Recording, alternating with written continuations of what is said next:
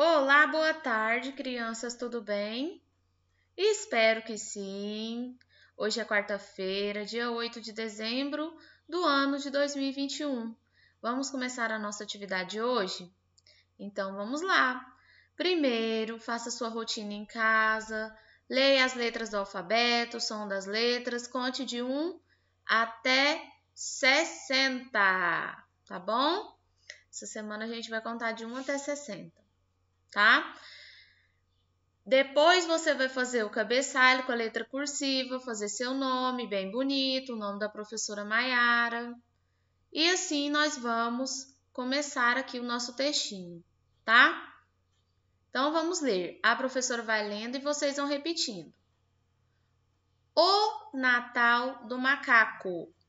O texto chama O Natal do Macaco. Esse é o título que vem em cima do texto tá?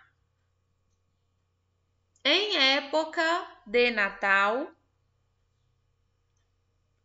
a floresta fica animada.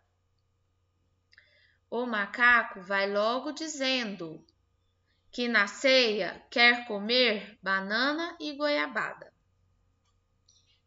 Quem escreveu esse texto foi a autora Eliana de Oliveira, tá? É um pequeno poeminha, então vamos ver quantas linhas tem esse poema?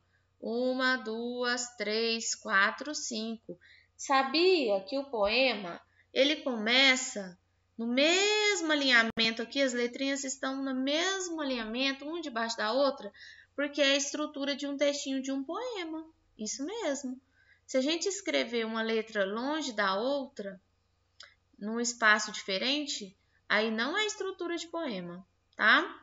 Então, quando a gente vê um texto que tem as letras todas retinhas, uma debaixo da outra assim, a gente já vai percebendo que, essa é um, que esse é um poema.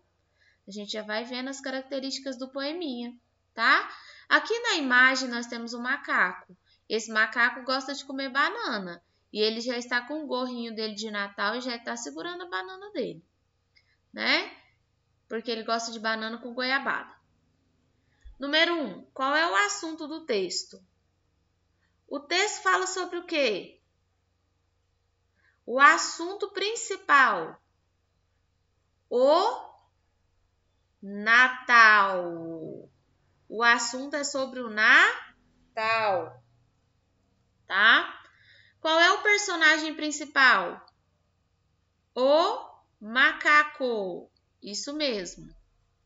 Como está a floresta com a chegada do Natal? A floresta está triste, a floresta está feliz ou animada? Lá no texto está falando que a floresta fica animada. Então, como que a gente vai responder? Animada. A floresta está animada. Leia e escreva os nomes dos desenhos. Macaco, e aí embaixo vocês vão fazer com a letra cursiva. Natal, e embaixo com a letra cursiva.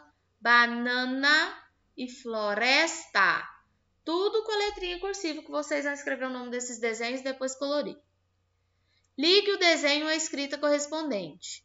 Primeiro, onde está escrito macaco? Você vai procurar, começa com a letra M e vai ligar. Onde está escrito floresta? Começa com F. Onde está escrito banana? Começa com B. B. E onde é que representa a imagem do Natal? Começa com N. N. Por último, ligue as rimas. Macaco rima com buraco. Então, esse desenho aqui é o buraco. Floresta rima com festa. Tá vendo esses meninos dançando aqui na festa? Banana rima com cana. E Natal rima com carnaval, tá bom? Então, esse é o nosso textinho de hoje, o Natal do Macaco e interpretação. Caprichem nas atividades, na letrinha cursiva, tá? E eu aguardo foto das atividades de vocês. Um grande abraço para vocês. Tchau, tchau.